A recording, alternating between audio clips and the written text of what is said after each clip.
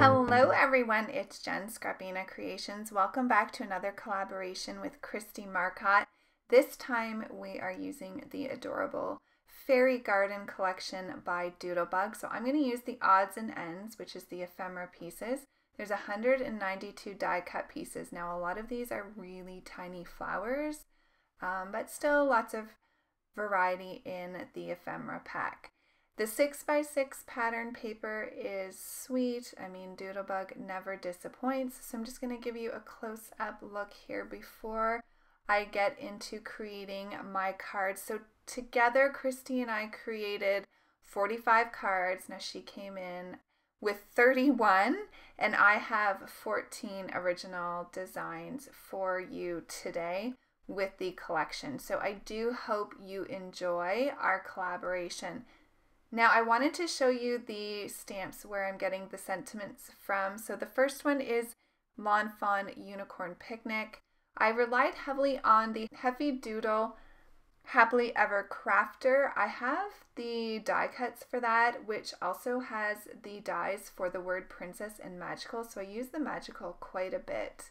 I'm also going to bring in the Doodlebug All Occasions stamp set, the Heffy Doodle Absolutely Awesome with the little fairies, and then I also used the Lawn Fawn a bug deal for one of my cards. So let's jump into card number one. So I started off with a couple slimline cards. These are some dies from Heffy Doodle and all of the products that I use today will be linked in the description box below so you can easily access everything that I'm using in the video if you want to take a peek or are interested in purchasing something.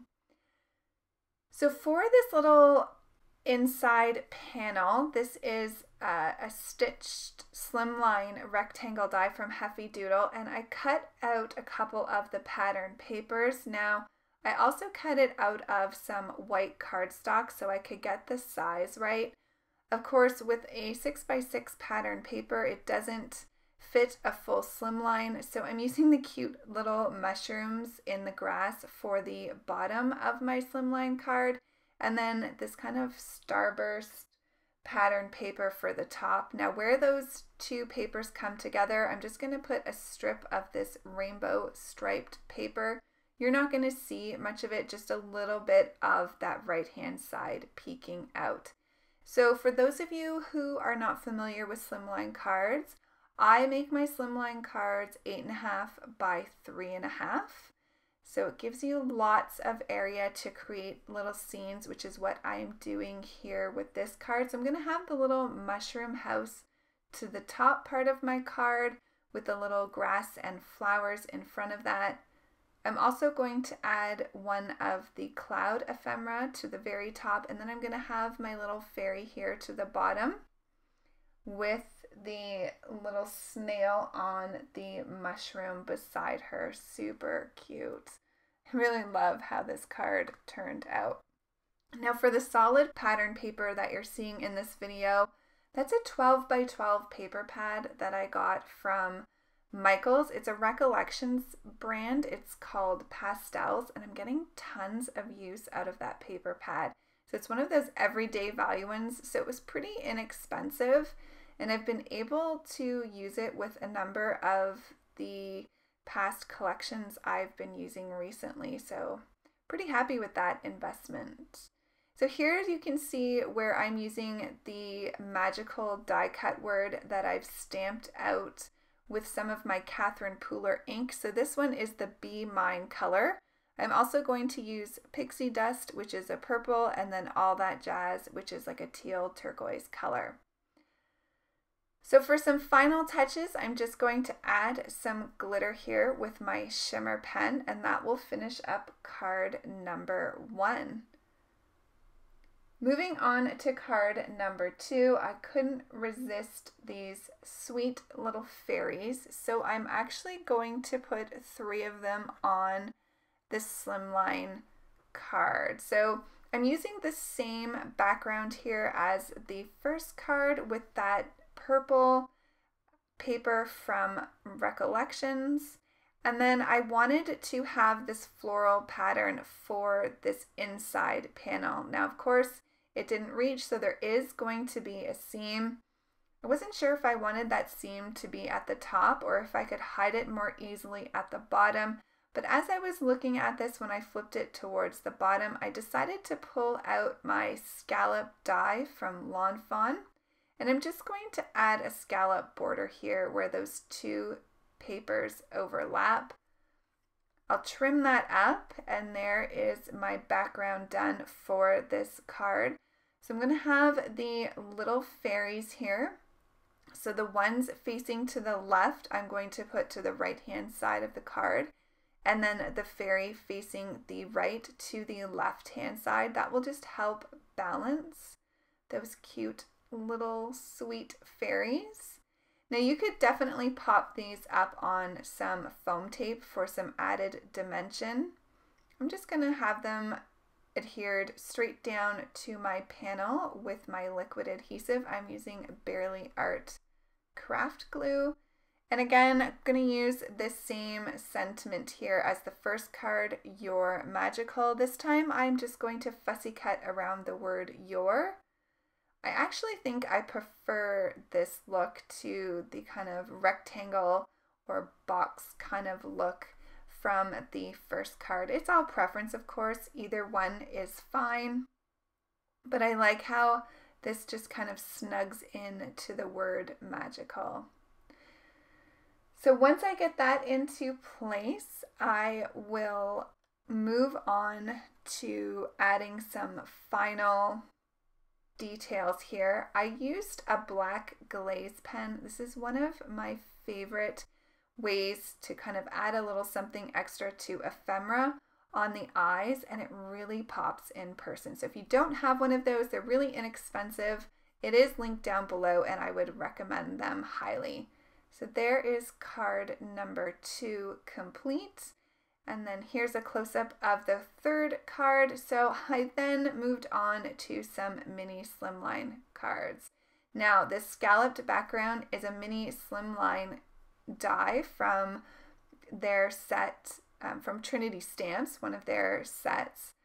And it's perfect. It cuts out three by six. I trimmed down the pattern paper just by, I think, a quarter of an inch to the top and the side so that you could see some of that scallop border. And then I'm going to place three of the butterflies on my panel here.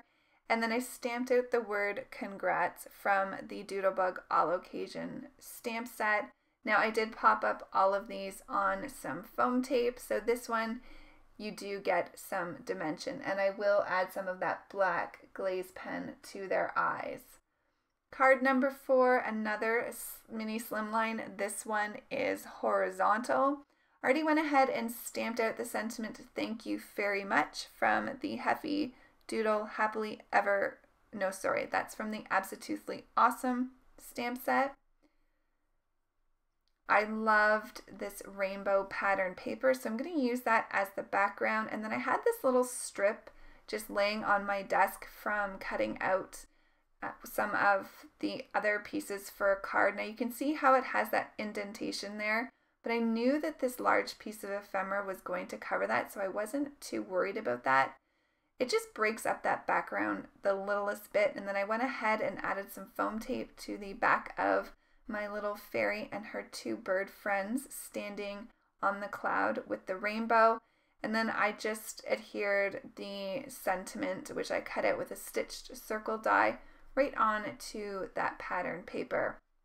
I'm going to give a little bit of shimmer to these clouds and that will complete that card. So moving on to the next card. So I did cut out some grass with the new Heffy Doodle Slimline Scenery dies. So I just cut it along the eight and a half side of my cardstock and I was showing you there that just to add a little bit of interest I did use my Distress Oxide Twisted Citron ink there. So wherever you see the die cut grass I have already gone ahead and added some of that ink just to give it a little bit of dimension. With using any of the scenery or landscape dies, what I love about that is if you cut it at the eight and a half uh, side of your cardstock, when you cut for a standard card, you have a little bit left over and you'll see that I was able to use those for my mini slim lines that I have coming up. So it's a great way to kind of cut once and get a little bit more use out of your landscape uh, die cuts like the grass that I'm using here. The Heffy Doodle one has hills and then it has a cloud die as well. It's really great. It's part of their new release that just came out. So for this card, I used the sun pattern paper for the background of my little scene here with this adorable fairy sitting on a tree trunk and I'm going to have her with the little birdie on the mushroom and then the little ladybug as well. I did add three of my Heffy Doodle swirly stitched clouds. If you've been a long time viewer, you know that I love these die cuts. There's three different sizes, a large, a medium, and a small, and I love using them to fill out my scene cards.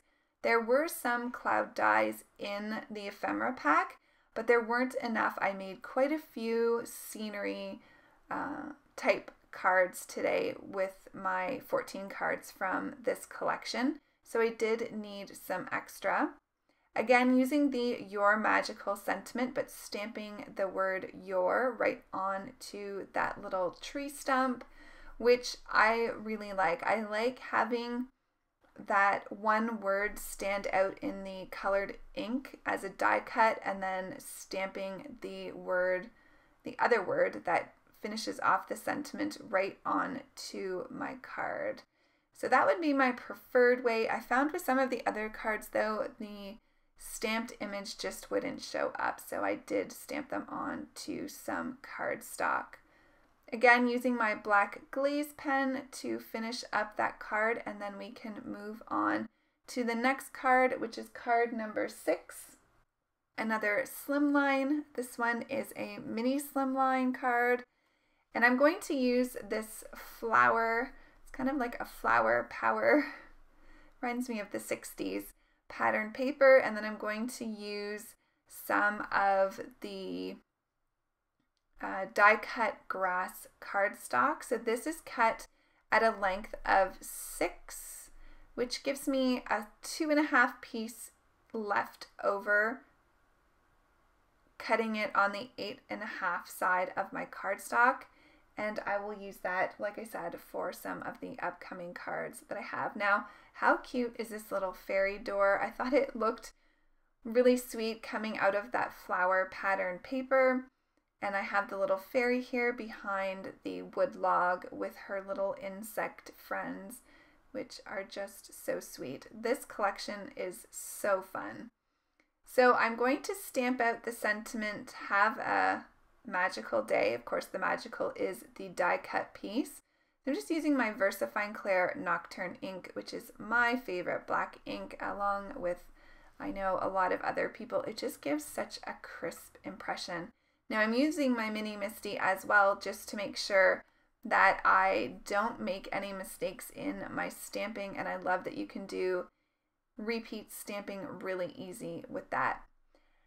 So there's another cute mini slimline completed and then I'm going to move on to a landscape sized A2 size card which is four and a quarter by five and a half and I'm going to create another sweet little scene card here using the mushroom house, which are these mushroom houses not the cutest little things you've ever seen?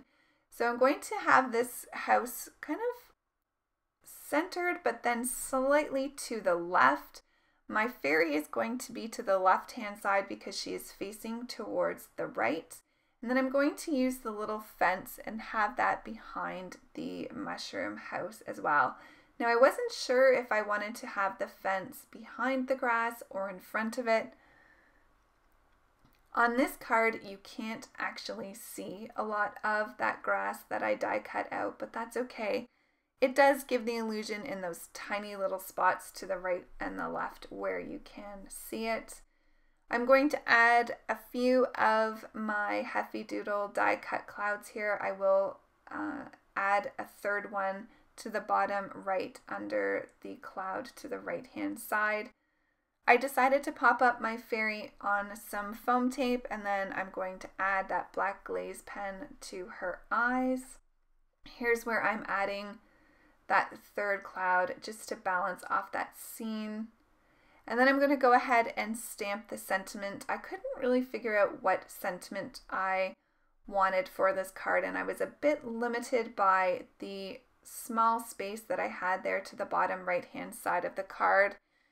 I did grab out the hello word with uh, Doodlebug all occasions and I thought that that just made for a really nice anytime card. And if you wanted to use it for a special occasion, you could always stamp a sentiment on the inside uh, for a birthday or something like that. Okay, so moving on to card number eight. Card number eight, another slimline card and another scene card. I just, there were so many fun little die cuts in the odds and ends ephemera pack. I just really leaned towards scenery or scene type cards today. So using the pink mushroom house this time. And for my background, I'm just using some blue pattern paper, although it's not pattern, so solid paper from my Michael's Recollections pastel paper pad. It's a really pretty color for the sky. And then again, using some die cut grass there from the Heffy Doodle Scenery dies, the slimline size. So these little lights were so cute. Reminds me of kind of sitting outside in the summer and maybe just hanging out in the backyard or having some friends over when we were able to do that, and hopefully we'll be able to do that soon once um, COVID is doing better. Um, we're still currently in lockdown here where I am in uh, Canada. So, yeah, looking forward to being out of lockdown and being able to spend some time with friends. So, this card just kind of made me happy putting it together. So I am adding some more clouds here to fill out the sky. Then I'm going to add the outdoor lights here to the top right hand side of my card, which ends up going over almost half of the top of the card, but some of that will get covered up by our little mushroom house here. I did have to add some extra glue to that right hand side of the light bulb. I just didn't get enough glue to that side.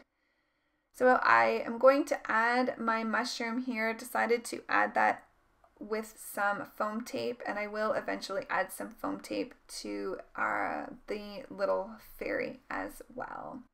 So she's super cute out in the yard adding some black glaze pen to her eyes and that will complete that card.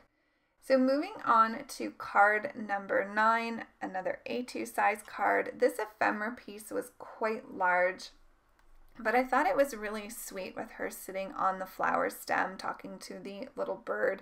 So I'm going to do a really simple card design here. I cut down the pattern paper four by five and a quarter just to leave me that white border. And then I cut an oval out of the bright pink pattern paper with a stitched oval die, popped her up on some foam tape, and then added the sentiment Way to Go, which is from the All Occasions by Doodlebug. So moving on to the next two cards, cards 10 and 11. So these are two mini slimline cards. And so I'm just showing you what I did was I cut this cloud pattern paper down the middle. So I got two panels, three by six inches, which is the size that I like to do for my mini slimline cards. So I'm able to make two cards with that one piece of pattern paper. So I am going to add a little bit of grass here to the bottom. So these were um, the leftovers from using the slimline dies. I have the little fairy on the mushroom and then I'm going to add two of the colored clouds up top. And I have the little flower patch there in front of her as well. And then I'm going to go ahead and create the second card here. So adding that grass to the bottom and then there's this little fairy sitting on a swing hanging from a tree branch, which I thought was really sweet and was the perfect size actually for the um, mini slimline. And I think I gave the wrong measurements for the grass when I cut. I must have cut, so I would have cut the five and a half out of the eight and a half side with the card stock, and then that one gave me three left over, not this. So those ones are from cutting a regular A2 size card, and then you get one size big enough to do uh, the mini slim lines, not how I mentioned about doing it with the regular slimline size. So sorry about that. But I knew that I got two pieces that worked on cards from one of my cuts. So for this first card, I'm going to stamp out Have a Magical Birthday. That's from the Heffy Doodle Happily Ever Crafter. I thought maybe I'd be able to do it with the second card, but that ladybug was down just a little bit too low. And that Bearly Art Glue is so strong. I could not get this up without ripping it, and I didn't want to rip my little ladybug. So I decided to switch out the sentiment, and I'm going to pick the sentiment You Rock from the All Occasions stamp set. And again, then I feel like this is just kind of one of those cards you could send out whenever just to let someone know that you're thinking about them. So again, to finish off, I'm going to add some black glaze pen to all of the eyes. And there's those two mini slim lines complete with only using one sheet of pattern paper. So super fun. Moving on to card number 12, I thought this one made a really pretty just because it could be a thinking of you card or a birthday card as well, but I'm going to use the wheelbarrow with the flowers inside. I'm using my well-loved Honeybee Stamps scalloped framed rectangle dies. So that's what I cut the background out of and I'm using the polka dot for the top part and then the flowers for the bottom. I had a strip of the bright pink pattern paper left, so I cut that with the scalloped frame die as well, but on a diagonal so it would fit over top of where those pattern papers meet. And then I just cut out a stitch circle out of the yellow solid paper from Michaels and that will be where I'm going to add my uh, wheelbarrow. And so just adding the sentiment just because, which again is just another great anytime card. So moving on to card number 13. Oh, how cute are these little glow bugs. This, I think, was my favorite patterned paper in the whole collection. So I used a hillside die. This is actually from Lawn Fawn. It's from their palm tree border set and I love how it gives like a nice rounded hill at the top.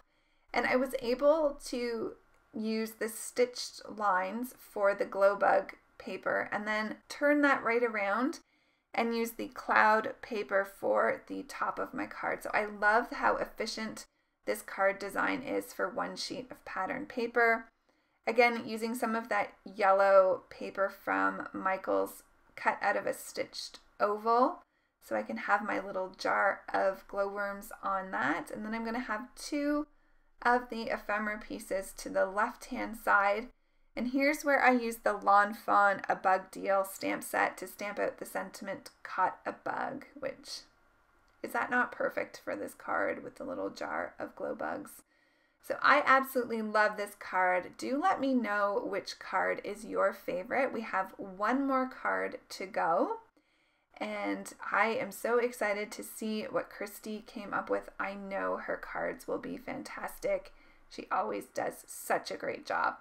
So moving on to card number 14. So this is a new die from Heffy Doodle. It's called the Slider Pop-Up and I think it might be my now favorite interactive die. It's super simple to create. So the main die cuts out this shape from your pattern paper. There's score lines, you just simply fold them and you can create a really fun card.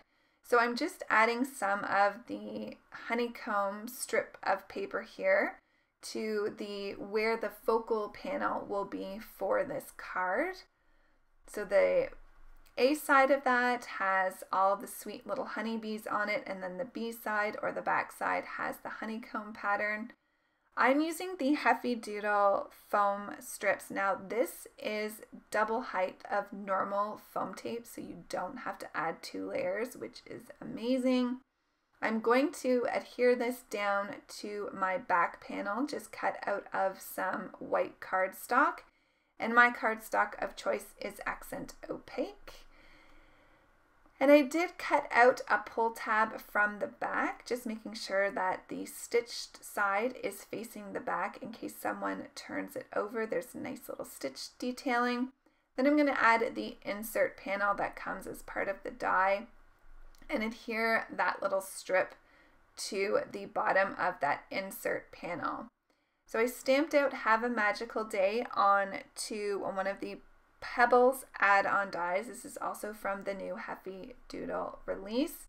Stamping out the sentiment to Have a Magical Day and I'm just trying to figure out where I want to place my little bees. And I do decide to move the sentiment just a little bit, but you can see once I pull that tab, and I just need to kind of wiggle that. It takes, you know, a little bit just to get the mechanism going, but once it's going, it's great. So then I'm going to add my other little bee here. So you just want to make sure it's not on any of the score lines, at least glued down over top of that, or the mechanism won't work. I decided to add a little bee to the inside. Now you can also stamp or write a message on the inside there. I'm just going to wait to see what I'm going to use this card for. And then I can go ahead and add a message on the inside, or you could also write on the back as well before you put the card together. Now I'm also using the slimline pull tab die here to add that little arrow piece inside which is super cute. And I'm using the honeycomb side of that as well. So it matches that little strip of paper. Is that not adorable? I absolutely love that new die set. Okay, so I'm going to slow this down and show you all 14 cards. So again, Kristie and I are sharing 45 cards in total using this collection. Super fun. I always love doing these. I know I say this every time, but you all seem to really love these collaborations as well, which makes us super happy because we love to continue doing them. Do let me know if you had a favorite card. I think the little uh, glow bugs is my favorite, but these fairies are really sweet too. So I'm not going to show you what I have left over because I do have quite a bit and hopefully I'll be able to get back with another video finishing this collection. Here's a link to Kristie's video. It'll also be down below in the description box. I'm heading over to check out her cards. Thanks everybody for hanging out with me. Don't forget to hit the like button and subscribe and I'll see you really soon. Bye!